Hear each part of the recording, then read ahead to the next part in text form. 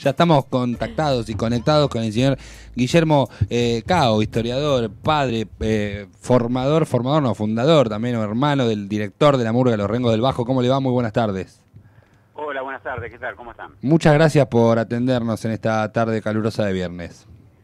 No, gracias a ustedes por llamar y les digo que nos están escuchando desde Río de Janeiro y desde Chacabuco, provincia de Buenos Aires. Están todos conectados, están chateando acá esperando que hablemos de APED y de la discapacidad y de la murga Los Rengos del Bajo. Bien, eh, eh, me gusta porque hay como muchas preguntas para hacer y muchos temas eh, para hablar. Yo por mi parte los, los, conocí en, en, el corso de la paternal, donde soy jurado, así que a mí me van a putear, digamos, cuando abran los puntajes y vean lo que...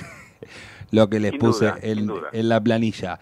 la verdad que primero voy a contar lo que, lo que yo vi como, como espectador eh, fue increíble, fue muy bueno verlos y por dentro pensaba, no como jurado, sino como ser humano, eh, el, lo tremendo, lo motivador que debe ser para los chicos participar de la murga. Qué, buen programa eh, es para los chicos participar de una actividad así. No sé vos cómo lo ves de tu lado. Sí, yo lo veo como padre, que fue la, la forma en que me acerqué. Yo tengo dos hijos con discapacidad y bueno, mi señora también, o sea, toda la familia y el director de la murga mencionabas vos, eh, mi hermano se acercó también con, con, su hijo y mucha gente se acercan eh, teniendo personas con discapacidad o no para colaborar y, y, vivir esto porque realmente si hay una cosa que necesitamos todos los seres humanos, todas las personas, y de eso se trata, las personas con discapacidad son eh, antes que nada personas, es el autoestima eh, y cuando uno está desvalorizado, en una sociedad justamente por o por su discapacidad o por lo que fuere, porque hay montones de, cosas por las que uno está, está eh, desvalorizado en la sociedad, inclusive, eh, bueno, estábamos hablando antes de determinadas situaciones, hasta por género, hasta por, este, por ser chicos, hasta por ser gordos, hasta por tener eh, montones de cosas por las que somos no solamente discriminados, sino muchas veces eh, disminuidos, ¿no? Eh, desvalorizados en la sociedad y bueno, la autoestima, el sentirse que, que pueden participar en un curso en la misma forma, porque no es un, un eh, lo que pasa muchas veces en los deportes, ¿no? Los paralímpicos, las, eh, la, las escuelas especiales que muchas veces, por supuesto, son necesarias, o las actividades especiales para discapacitados, sino que acá están participando en el curso oficial, haciendo lo que hace la murga oficial, vos que sos jurado lo sabés, con todas las calificaciones correspondientes, por eso por ahí no estamos en, en la mejor categoría porque muchas veces eh, no tenemos una percusión que, que, sea al nivel de las mejores, pues está integrado en su mayoría por, por personas con discapacidad que les cuesta mucho eh, mantener eh, un, un, ensayo y un, un, ritmo como el que pueden tener los demás, pero en todo lo demás, en la forma que, que tenemos para bailar y todo, los chicos recibir el aplauso y estar participando en un espectáculo eh, cultural como es la murga y tan popular además, ¿no? Donde eh, amigos, parientes y los vecinos los aplauden a rabiar y se emocionan porque realmente es emocionante nuestra actuación y vos lo habrás vivido. Bueno, eso para los chicos, eh, para todos los seres humanos es fundamental, pero para eh, nosotros que tenemos muchas veces una o desvalorización o un grado menos, es fantástico. Y se me viene a, la mente una, una pregunta o una, una reflexión eh, desde, mi, desde mi ignorancia, voy a decir lo siguiente, pero no es un gran momento para tener alguna discapacidad. En este momento con el gobierno eh, estamos medio a las puteadas, ¿no? Con el tema de las pensiones. Eh, sí, no, no, no es, no es un mal momento para estar desprotegido o para eh, tener ausente justamente lo que tiene que hacer el Estado, ¿no? Hay un, un retiro, una ausencia del Estado en todo, en la cual eh, justamente para igualar eh, derechos, para, no, para respetar los derechos, no es para igualar, para respetar los derechos la presencia del Estado es fundamental y justamente, bueno, eh, estamos viviendo un momento en el que eh, sufrimos realmente la, la, la, ausencia y la, la, falta de prestaciones del Estado, ¿no? Es, es muy fuerte, lo, lo, recién eh, estuvimos comunicados más de media hora con, con superintendencia de, de, este, de, seguridad social porque este, las obras sociales nos, nos, están retirando cada vez más servicios o nos ponen más trabas para, para montones de cosas. Realmente es, es muy fuerte. Bueno, tuvimos la, el quite de las de las de los eh, subsidios para discapacitados a, a mitad del año pasado, bueno. Olvídate por un momento que vos sos padre de dos chicos con capacidades diferentes. Como ciudadano común, ¿qué pensás de, una persona, vamos a corporizarlo eh, en, Macri o en quien sea? ¿Qué pensás de una persona que, dice, bueno, no, a partir de ahora eh, vos tenés discapacidad, no, no vas a cobrar tu pensión? O sea, a un pibe discapacitado le sacan una pensión.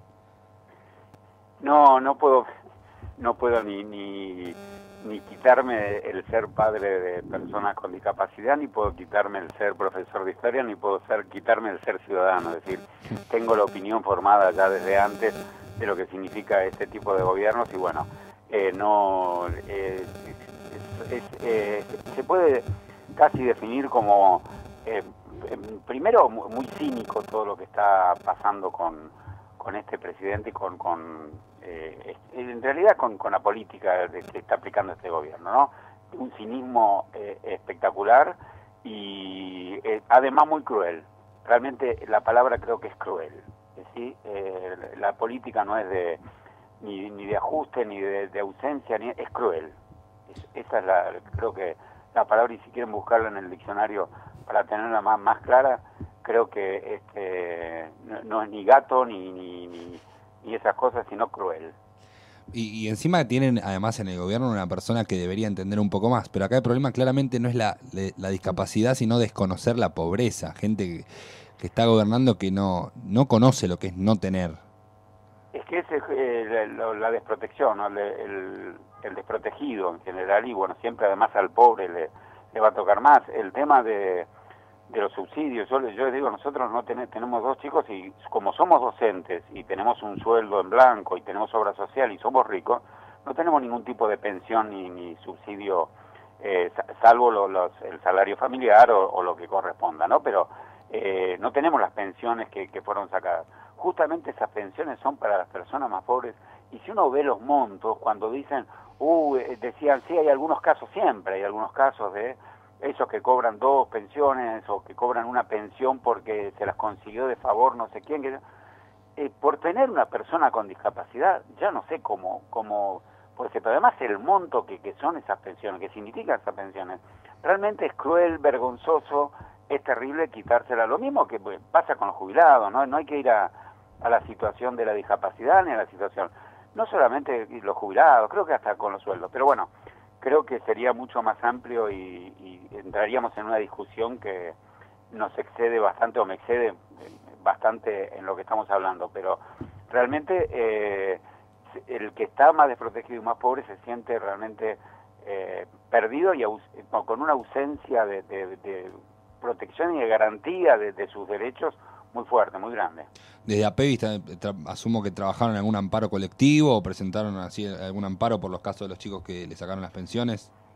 APEVI en su momento tuvo una, eh, un solo caso registrado, dos. Eh, eh, APEVI, la Asociación para la Espina Bífida y Hidrocefalia, que es la que apadrina, no apadrina, es la que organiza la murga, uno de los talleres de la murga, yo lo aclaro, es una asociación de padres, una ONG, que eh, tiene ya más de 40 años, que se inició justamente con, con esa patología específica que era la espina bífida y bueno, ahora atiende todo tipo de, se, amplió hacia toda la discapacidad.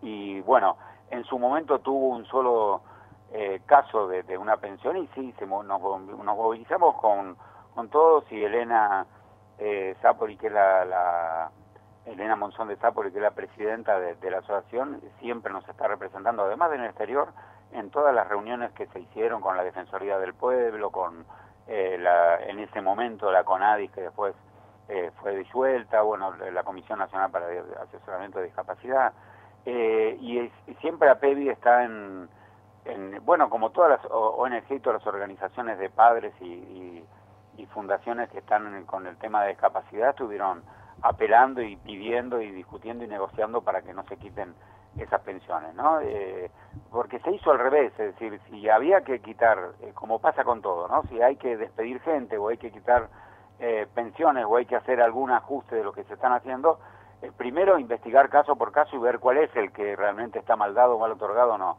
No quitar todos y después ver cómo se está haciendo en este momento. Claro, se está perjudicando un ser humano no es un ser humano, son muchísimos, pero uno solo que se vea perjudicado por esta falta de prestación de, de, un subsidio que a veces son tres mil, cuatro mil pesos, eh, que alguien me diga qué puede hacer con este, tres mil, cuatro mil pesos o, eh, las jubilaciones mínimas, ¿no? Que, en vez de aumentar un 12, aumentar un 5, bueno, es, es lo que estamos viviendo.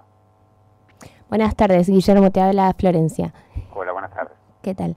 Quería preguntarte, antes hablabas de, em, te referías a la situación de la obra social, de las obras sociales.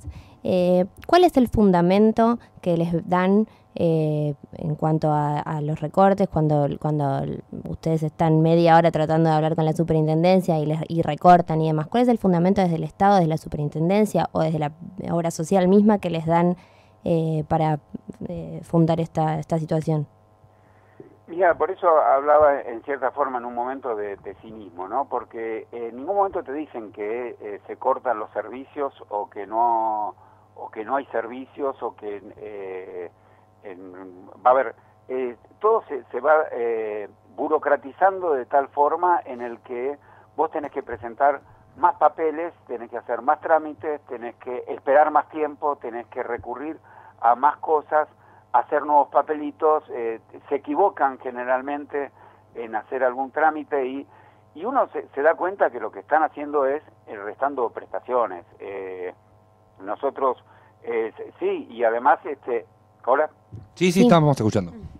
No, decía que en definitiva no, no dicen, bueno, vamos a quitarle las determinadas prestaciones. Desde ahora no entregamos más sillas de ruedas o desde ahora no... No, eh, pero uno ahora antes tenía que tramitar una serie de y un trámite bastante más sencillo. Ahora no, que tiene que tener la orden del kinesiólogo, la orden del neurólogo, las medidas del otro. Eh, en la ortopedia que eh, tenemos que recibir la orden, la ortopedia no te hace la silla hasta que no le paga la obra social, la obra social como dice que no le gira el Estado demora en pagar. Entonces, bueno, de esa forma hay gente que termina, bueno, si tiene recursos, comprándose sus, sus, elementos por otro lado, la gente que no tiene recursos no tiene más remedio que seguir esperando y seguir esperando. Y bueno, eh, estos son recortes que se van dando porque cada vez se profundiza más y, y cada vez más, más allá de que, por ejemplo, mm, disminuyen las, o quitan las pensiones o, por ejemplo, no, no se actualizan como corresponderían a la gente que las tiene, ya les digo, nosotros no la tenemos, pero por ejemplo nos pasa con el, con el salario, con el salario familiar, ¿no? está estancado o, el salario familiar lo que se hizo en determinado momento, eh, que fue graduarlo, entonces cuanto más ganás, menos salario familiar recibís y por ejemplo, eh, como eso no se actualiza y los sueldos se fueron actualizando por la inflación que hubo, hay gente que no cobra salario familiar por su hijo discapacitado porque gana más de 15 mil pesos, por ejemplo. Qué, complicado que estamos. Y, y, en provincia no hay paritaria, así que los docentes están medio complicados también. Sí, además de eso que no, este, o las paritarias no, no contemplan, te cierran una paritaria y no te, o te complementan una cláusula gatillo y después no, no, la, no la cumplen o cosas por el estilo, ¿no? Pasa de todo en este país. Una, una pregunta por ahí eh, más personal, pero está bueno para que escuche la gente del otro lado. A vos como padre eh, de chicos con capacidades diferentes, ¿qué es lo más difícil que te ha tocado vivir? Eh, eh, me lo preguntás en el sentido de esto que estamos hablando de, las cuestiones políticas o en el sentido no, en el, sentido personal, lo que se te venga a la mente. ¿Cómo, cómo? En el sentido personal, lo primero que se te venga a la mente.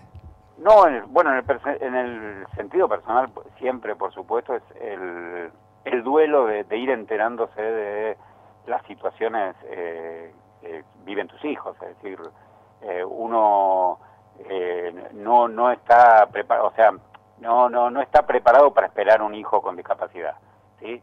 Y a medida que se va enterando, esos esos son los los momentos, digamos, más dolorosos que uno va sintiendo como persona, pero al mismo tiempo es un aprendizaje extraordinario en el que eh, va revirtiendo eso y es bueno aprender a, ir viviendo con, con, con, todo lo que le pasa a cualquier ser humano, con la pérdida de cualquier persona o la pérdida de, o lo que sea el duelo que tiene que hacer frente a cualquier situación. Pero bueno, eh, como, como persona, como papá, siempre lo que más doloroso produce es cuando uno empieza a, recibir las noticias de lo que le está pasando a sus hijos. Y lo más eh, hermoso es cuando uno ve adelantos, recuperaciones o, cosas como esta, ¿no? Maravillosas de participar en una murga y recibir el aplauso de la gente, o eh, los chicos hacen teatro también para sordos y recibir, este, verlos actuar o, trabajar en esto, o los logros personales que van teniendo, ¿no? Como cualquier padre con cualquier hijo.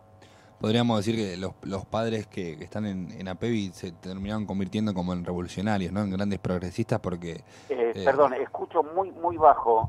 Levantamos la voz, no hay problema. Eh, la gente, la gente de ustedes, ¿no? Los, los, padres de APEVI son como revolucionarios, son muy progresistas porque han enfrentado situaciones, eh, digamos, duras, han aprendido a, ser padres, además se unen, ayudan a otros.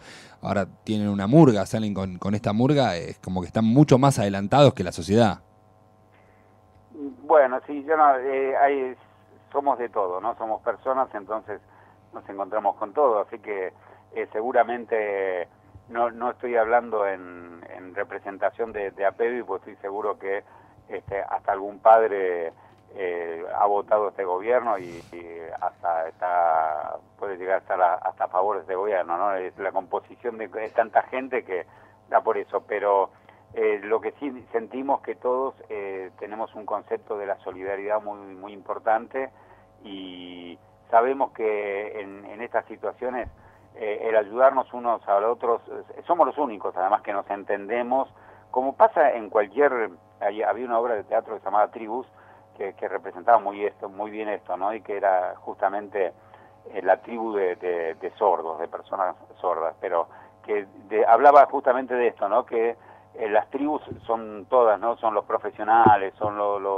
los, profesionales de una actividad o los papás con determinadas situaciones y bueno, nos manejamos con esas tribus, con esos códigos en que nos podemos entender nosotros y sabemos que tenemos que ayudarnos nosotros y, salir a pelearla nosotros como también le pasa a los eh, a la gente que, tiene necesidades especiales eh, económicas en un barrio que o grupos de desocupados de determinada situación o, padres de chicos con, adicciones o con, otras problemáticas o lo que sea, ¿no? Es decir, eh, tratamos de conformar y de ayudarnos como tratan de hacer todos los, pares, ¿no? como harán ustedes los, los, periodistas en determinado momento, que además piensen más o menos de la misma forma, ¿no? Porque pasa lo mismo. Yo voy a decir, ustedes son los revolucionarios porque están hablando de temas de aborto, están hablando de temas de discapacidad, en el mismo programa están tocando temas con tanta profundidad y tanto tiempo, y no podemos decir lo mismo de todos los periodistas y locutores, me imagino, ¿no? No, claro que no, entre nosotros no nos defendemos, nosotros nos llevamos mal con, con el mundo del periodismo. No, por eso digo que tampoco los papás de, este, de, personas con discapacidad somos, o los de APEVI mismos, eh, tenemos que pensar todos igual o estamos todos en la misma. Para determinadas cosas sí. Por supuesto que no, pero a ver, yo repito, hablo desde, desde la ignorancia. Eh, tengo familiares con discapacidad, pero no un hijo. Tener un hijo es otra cosa, muy diferente. Eh, ya tener un hijo no me lo imagino, no, no quisiera tenerlos. Eh, pero lo que te cambia la vida, lo que tenés que aprender constantemente, ¿no? Es un desafío constante, no solo para tus chicos, sino vos tu propio desafío interno, con las buenas, con las malas. O sea, es complicado y yo creo que, me imagino de este lugar, que se convierten en obligatoriamente en personas que tienen que avanzar mentalmente para superar desafíos constantes. Bueno, sí, eh, lo dijiste vos, eh, pero sí uno lo siente así muchas veces y es, es, cierto, eh, pero bueno, no, por a veces uno se siente que no está bien que lo digamos, ¿no? Pero yo veo mis pares que sí, que son, somos los héroes de, por lo menos de nuestra, de nuestro sector, de nuestro lugar, ¿sí? Este, según a veces la discapacidad y según cómo lo enfrentemos y cómo lo, lo, lo, llevemos adelante, pero sí, realmente es eh, muy duro, pero se hace más duro, y muchas veces lo dije, muchas veces lo escribí, se hace más duro cuando la sociedad te pone, y más que todo a veces el Estado, ¿no? los organismos, te ponen tantas trabas, eh, porque a veces hasta la persona común, el empleado eh, de la obra social, te está tratando como que te, él está haciendo un favor a vos, ¿no? Como que te está cuidando, ¿no? Es como cuando cantábamos en la murga la canción que le decíamos, usted es un, un, este, un buen vecino, lo quiere su familia, por favor no tape las rampas y no estacione en las esquinas, ¿no? Entonces, eh, es un poco eso, ¿no? Pues la gente común que nos dice, uh, ustedes qué sé, y después cuando se tienen que enfrentar al tema, y bueno, estaciono, ¿quién va, quién justo va a venir una silla de ruedas acá y deja el auto en la, en, tapando una rampa? Y no saben el problema que es este, cuando uno viene con una silla de ruedas y tiene que llegar a un lugar y se encuentra con que no puede bajar por ese lugar y tiene que andar buscando otro lugar. Y es muy difícil bajar un cordón. A veces son tonterías y que eh, estoy hablando de eso, imagínate lo que es la vereda rota, imagínate lo que es un ascensor donde no entra la silla de ruedas, imagínate lo que es un profesional que te atiende en un segundo piso por escalera o cosas por el estilo, ¿no? Y bueno, eh, todas esas trabas en que además la gente hasta te ayuda de buena onda y te tiene eh, mucha consideración y mucho, pero después tiene actitudes que no se da cuenta con lo perjudicial que está haciendo, ¿no? Entonces, bueno, enfrentar todo eso a veces es este más allá de políticas concretas, de decir, bueno, eh, esta gente no produce, no sirve y encima están afanando, ¿no? Desde el concepto de se embarazan para cobrar un plano o, se deben pensar que tenemos hijos discapacitados para cobrar salario familia doble, no sé, como, como o para comprar, para tener un lugar donde estacionar el auto, ¿no? Yo creo que algunas veces alguno lo piensa y he tenido peleadas acá en la calle de, gente que, me ha dicho, ¿y dónde está el lío? Oh, nos ha pasado una anécdota terrible. Hace mucho tiempo teníamos un auto muy viejo y fuimos al supermercado y nos estacionamos un Fiat 125, era el modelo 78, estoy hablando del año 90 y pico.